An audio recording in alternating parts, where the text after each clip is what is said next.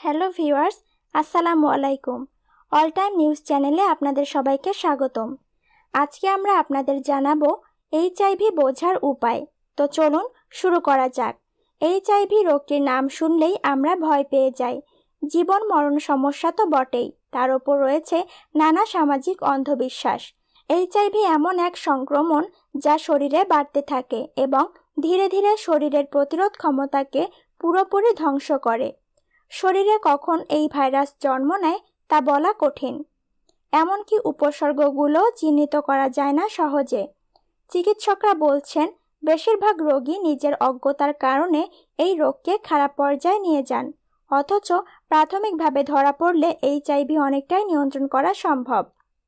যদিও এইচআইভির লক্ষণগুলো ব্যক্তিভেদে আলাদা, তবে এই রোগের সংক্রমণের দুই তিন মাসের মধ্যে কিছু প্রাথমিক লক্ষণ ধরা পড়ে।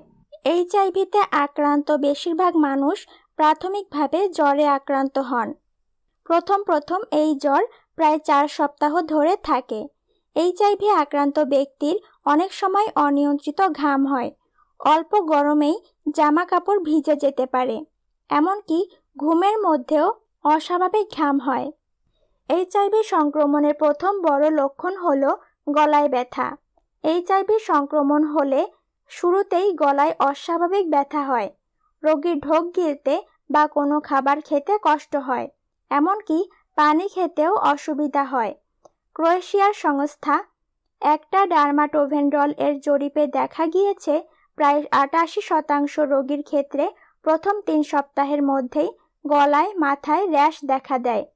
তীব্র প্রদাহ হতে শুরু করে চাকা চাকা হয়ে ফুলে থাকে জায়গাগুলো। এইচআইভি সংক্রমণ শুরু হলে প্রথম দিকে অনেকের বমি ভাব হয়। শরীরের রোগ প্রতিরোধ ক্ষমতা যত কমতে থাকে, ততই বাড়তে থাকে বমি ভাব।